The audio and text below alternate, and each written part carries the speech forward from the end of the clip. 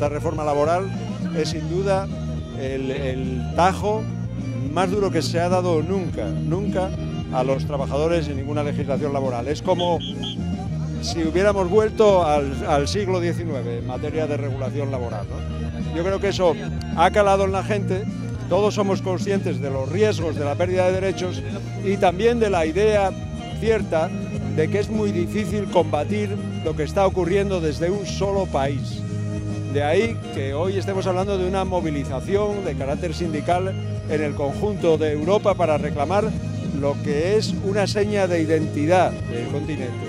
Es el estado de bienestar y los sistemas de protección social y los derechos al trabajo. No cale en la ciudadanía esa, esa idea que nos quieren transmitir de que la eficacia económica está en contradicción con la solidaridad. No es verdad.